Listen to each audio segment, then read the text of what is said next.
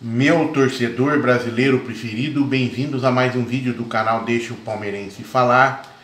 Desde já peço a você que se inscreva no canal, é muito importante a sua inscrição no canal, porque metade das pessoas que veem os vídeos ainda não são inscritos, tá?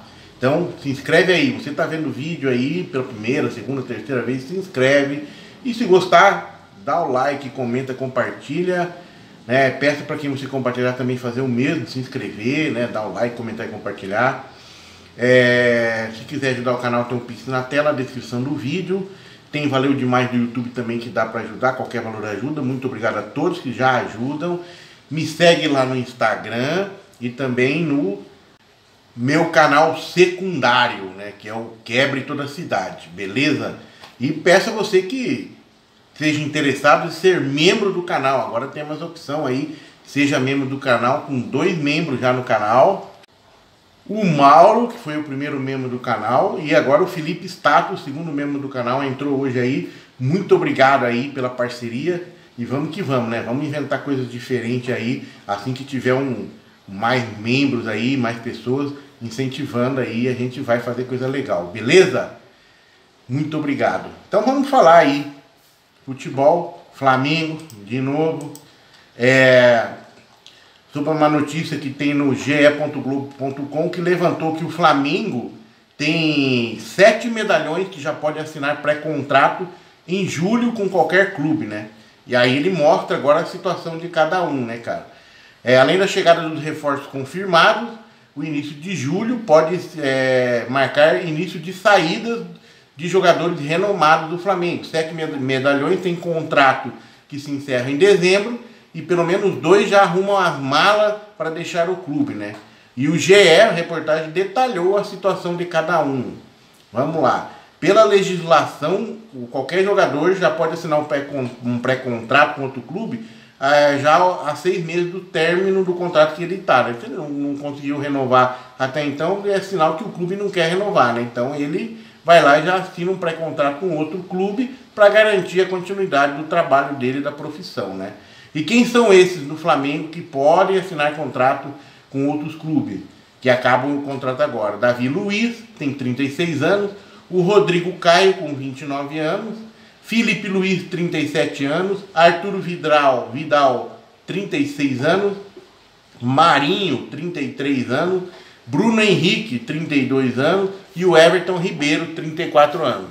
Destes já tem duas saídas confirmadas, né? Que é o Marinho, que vai acabar o contrato dele, né? Já era para ter saído, né? Tava negociando com o São Paulo, mas resolveu ficar até o final do contrato com o Flamengo, até por causa do salário, né?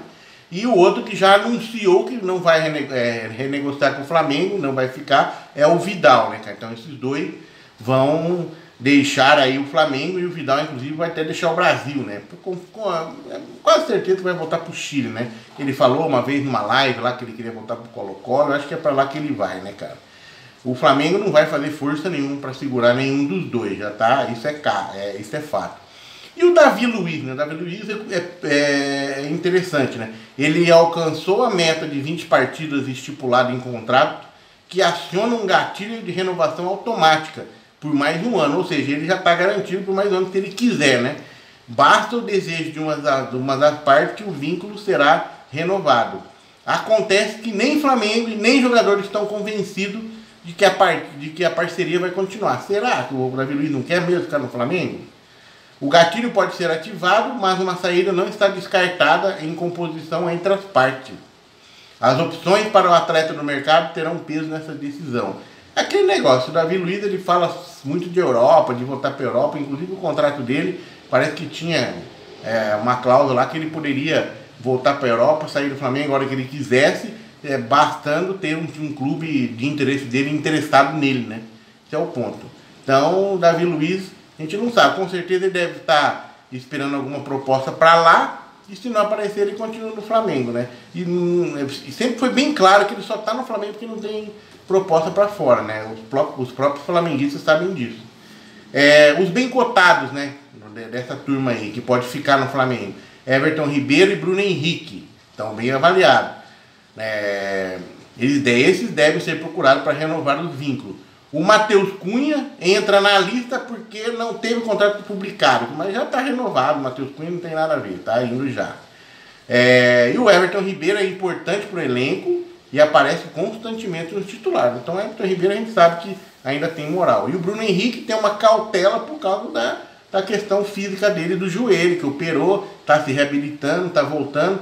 Fez o gol aí no último jogo, foi muito emocionante para todo mundo, mas, né, ainda tem uma cautela. Mas está em alta no clube, né, o cara é muito bom de bola, isso a gente ninguém nega, só não sabe ainda como é que está a questão física e a questão como é que ele vai encarar essa volta aí é, por causa do joelho, né? vamos aguardar.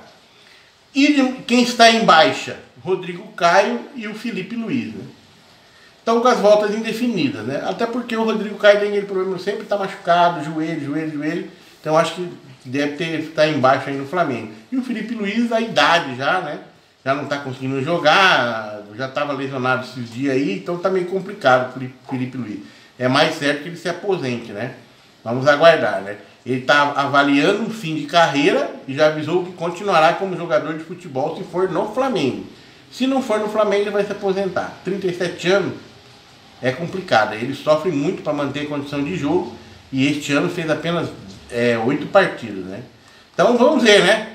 Flamengo diferente, com certeza, o ano que vem, né? Muitos vão sair, dois já estão confirmados, outros talvez não vão ser procurados, vão ter que procurar outro clube, né? E é bem fato que a idade também está alta, né, dos caras, né? E aí o que está mais novo aí, tá com problema no joelho, é o Rodrigo Caio, né? Mais constante. Será que algum outro clube vai querer contratá-lo também sabendo dessa, desse problema dele? Vamos aguardar, né? É, rapaz, uma proposta aqui que o Flamengo recebeu, né? Está prestes a receber, segundo o bolavip.com, né? O br.bolavip.com, dizendo que o Flamengo está prestes a receber uma proposta do Manchester City por jogador do Flamengo através do Grupo CID para vender uma de suas joias que mais chama atenção no mercado do velho continente. Os valores chegam até os 27 milhões de euros, convertendo para o real, são 147 milhões de reais. O jogador não é muita surpresa, né? Porque tá todo mundo atrás do cara, Matheus França. Mais um que tá afim do Matheus França. Pô, agora Manchester City balança, né? Pelo menos o jogador vai ficar louco. Imagina o Matheus França sabendo que o Manchester City do Guardiola o quer e quer pagar 27 milhões. Vamos ver o que, que o Flamengo vai negociar isso aí. Com certeza não vai segurar. Não tem como segurar tanto tempo um jogador jovem tão visado assim pelos europeus. A gente sabe disso. Infelizmente para nós torcedores brasileiros que nossos ídolos vão indo embora cedo, né? Então complica. Aí volta já tá velho, puta é foda. Né? Mas é isso, né?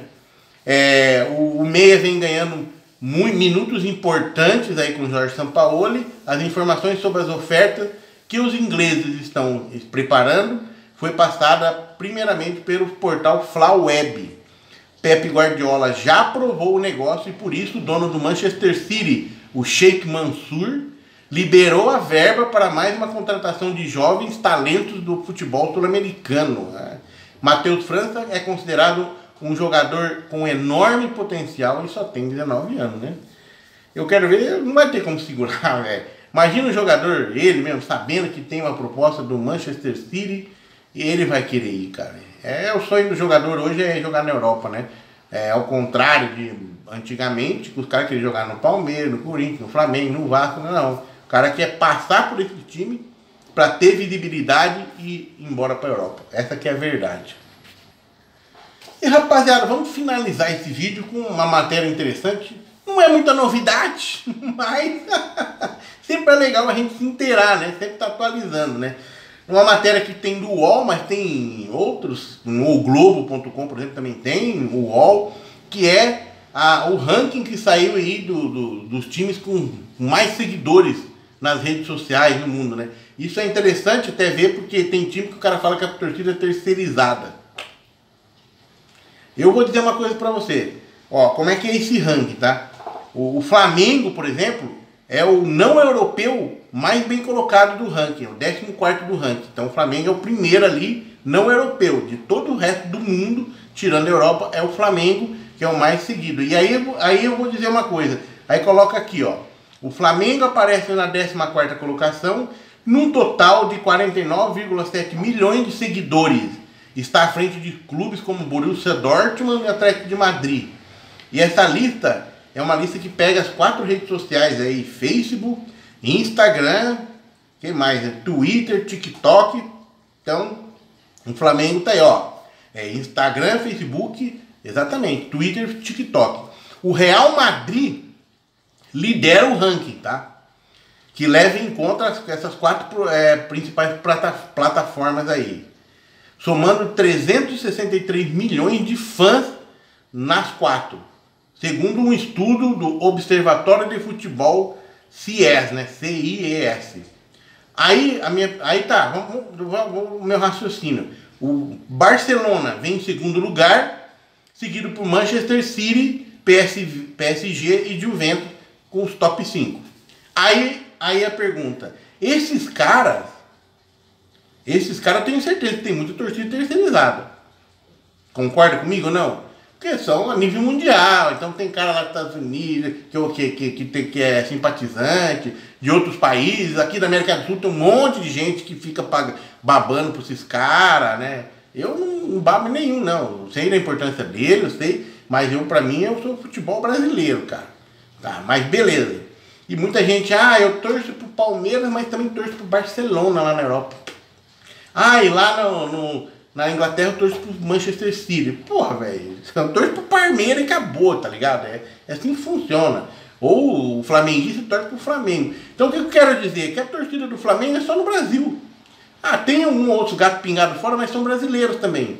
Então a torcida do Flamengo é, é o único aqui que é a má raiz, né? Que é a torcida que aparece, as torcidas dos times do Brasil são as verdadeiras torcidas, porque quem alguém, sabe, algum europeu, algum americano, algum, sei lá, australiano, japonês torce para algum time no Brasil? Não. Não.